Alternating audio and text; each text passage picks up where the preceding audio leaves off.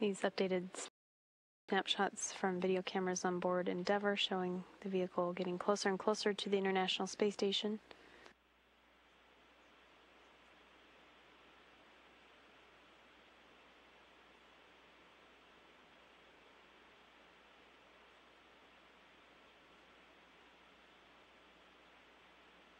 Station in Houston, capture confirmed. Houston copies.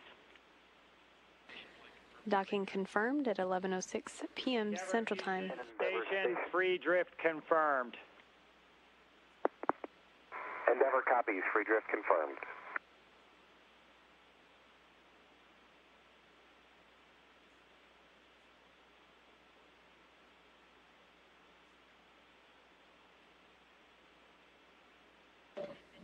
The two vehicles are orbiting 215 statute miles above the Earth over the Atlantic Ocean to the west of Portugal.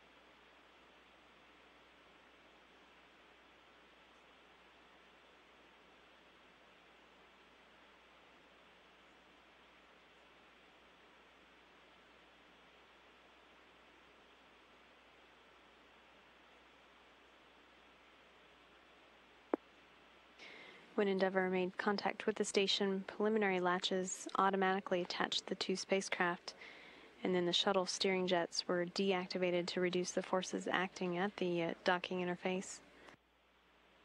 Shock absorber springs in the docking mechanism will dampen any relative motion between the shuttle and the station, and once that motion has been stopped, the docking ring will be retracted to close a final set of latches between the two vehicles.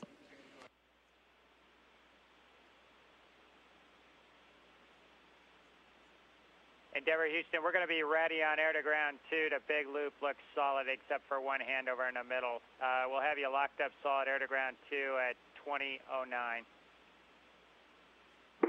Copy Ratty for the next 15 minutes, and uh, Nick and Bob will run on the card now. Roger.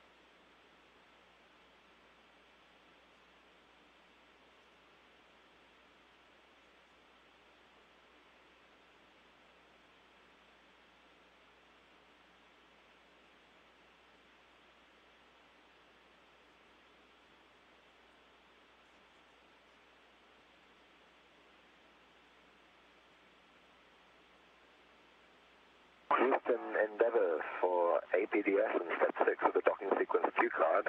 We are uh, ready for your go. Go ahead, Endeavour. Copy, we have a go for step 6 of the docking sequence cue card.